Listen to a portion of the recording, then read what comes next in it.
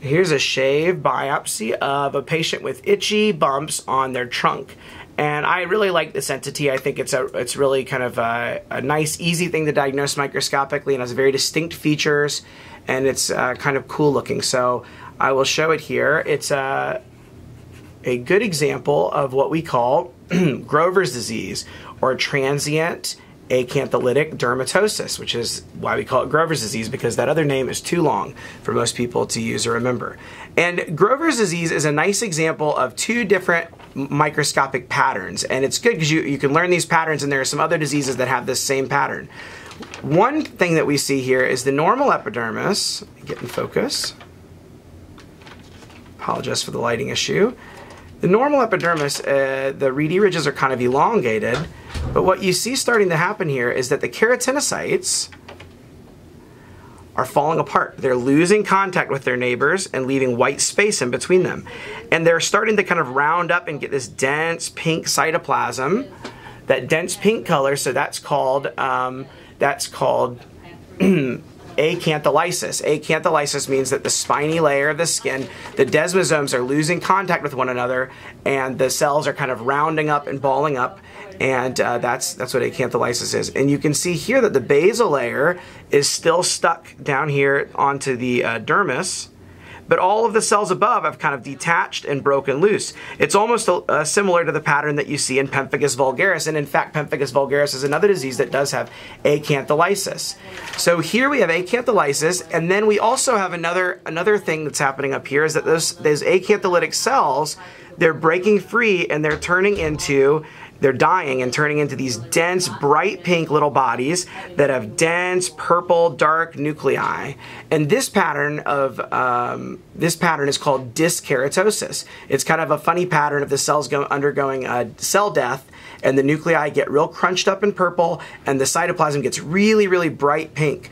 And so uh, the acantholytic uh, cells, they they they get called two fancy names. If they're long and thin and look kind of like parakeratosis, people call them grains, like they look like a grain of wheat or something.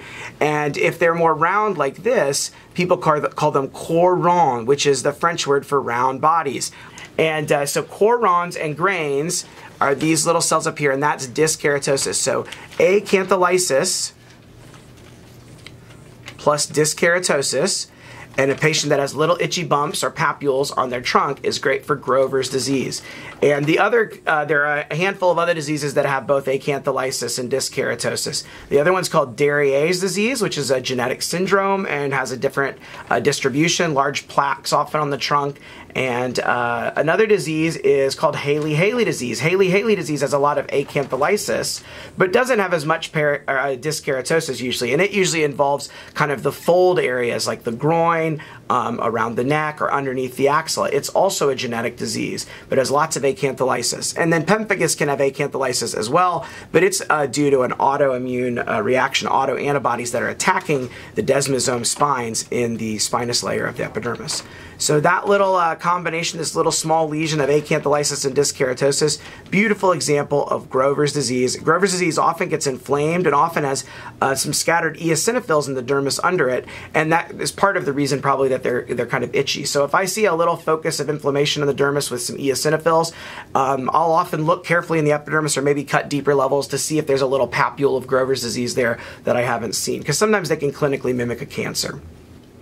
So you might think, well, this doesn't look anything like that case I just showed you. And in fact, it is kind of a different, more subtle pattern of Grover's disease, but I see this often, and I think it's good to recognize because sometimes you'll kind of just catch these changes a little bit on one section, and if you cut deeper, you'll find it. So anytime they're looking uh, clinically for folliculitis or something with a kind of itchy, papular, bumpy little rash, I always keep Grover's disease in mind because it can be tricky to find. But here, the clues the most important clue is look at the granular layer. The granular layer is very thick and very hyper um, hyperchromatic. It's very purple. So look over here at the normal skin. The granular layer is a very thin little purple line with these purple keratohyalin granules.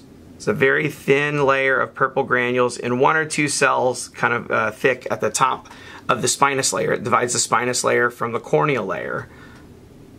But when you get over here, that layer gets very thick and you have lots of enlarged cells with big, thick purple granules. You can see those increased uh, granular layer in a lot of different processes, but when I see it as a little focal area, particularly when I start to see some stuff that looks like parakeratosis or maybe dyskeratosis, and I start to see some cells that are starting to fall apart and get acantholytic, to me that's a good sign that you're dealing with Grover's. And if you cut deeper, a lot of times you'll see it. I think though, honestly, in the right setting, even changes like this are compatible with Grover's disease in my, um, in my um, um, opinion. And down here in the dermis, again, look at this little infiltrate of lymphocytes underneath the lesion. And again, often if you go closer, you'll find occasional um, eosinophils. You don't have to have them, but you'll often find them. Maybe this one doesn't have any. And look, we cut a little deeper and what happens? You're starting to see the cells falling apart and rounding up and becoming acantholytic.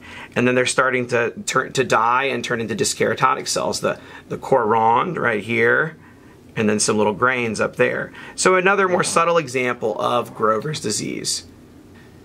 What you can see from, from low power here is that there's a little bit of increased keratin on top and the cells are starting to fall apart. So we've talked before, that's acantholysis. And you can tell that the granular layer, the purple part, is definitely thickened. So even from low power, you can see there's acantholysis, there's hypergranulosis, there's hyperkeratosis in this one little zone of skin right here. So we look closer and we can confirm that. So again, the, the cells are starting to fall apart and become acantholytic and we're beginning to see this really thick, blobby kind of hypergranulosis. And so this kind of really thick purple hypergranulosis in this setting is actually almost like a pattern of dyskeratosis. So this basically is acantholysis plus this kind of unusual form of dyskeratosis, or that's the way I think of it at least. So this is really just kind of a, a different presentation of Grover's disease. And it doesn't, um, you know, it looks a little different than uh, some of the other more typical examples of Grover's disease that I've shown before and that um, a lot of people are familiar with from from books, but I find that this, when I start seeing a little bit of acantholysis and this really thick, very uh, dark purple granules and some increased keratin, if I ever find that like on a punch biopsy, I think, oh, this is probably Grover's, and if I'm not sure, I can cut deeper